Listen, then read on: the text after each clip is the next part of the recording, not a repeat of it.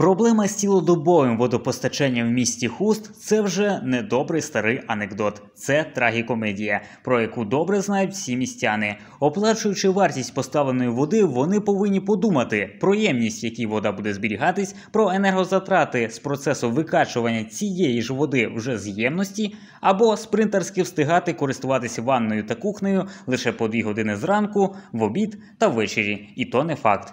Тепер громадськість намагається змінити ситуацію. За короткий період часу понад півтисячі підписів під зверненням з вимогою подати воду цілодобово люди звернулися до Олександра Пилипа. На найближчому засіданні він та ще кілька депутатів Хуської міської ради підготували запит та проект рішення щодо цілодобового водопостачання. І тут, 31 серпня, запрацювала бюрократична машина. Внести рішення в порядок денний запит депутатів. Вносимо. Пилип. І проект рішення прошу внести про цілодобове водопостачання. Запит прийнято. Проект рішення включено в порядок денний. І тут питання чомусь виводиться за межі конструктивної дискусії і стає предметом політичної інтриги. Було зроблено все, щоб налаштувати депутатську більшість на ігнорування проблеми з цілодобовим водопостачанням. Цілодобове водопостачання це є основа. Тепер послухайте, що є в нас. Всі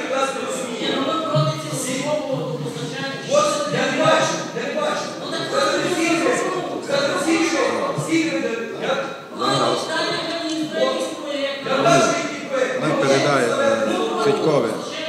Ну я бачу так. Я бачу, що так. П'ять чоловік проти, нуль, утрималось дев'ять, не голосувало два. Рішення не прийнято. Олександр, є питання? Є, звичайно, Але буде там інакше питання. Всі пояснюють.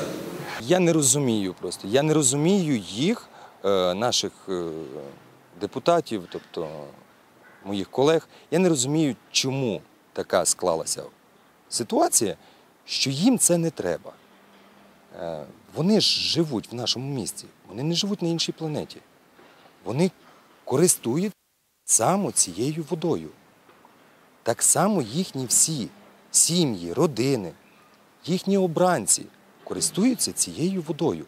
Я не можу зрозуміти їхню позицію. Можливо, це був своєрідний саботаж.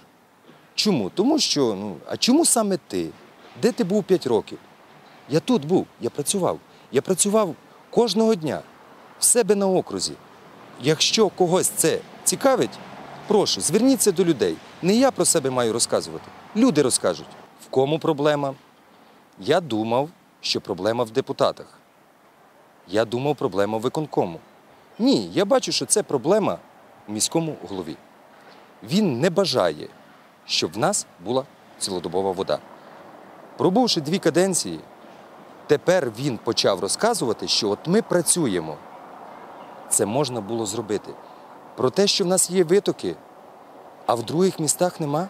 В населених пунктах, таких як Великий Березний, Перечин, Міжгір'я це СМТ, там цілодобове водопостачання.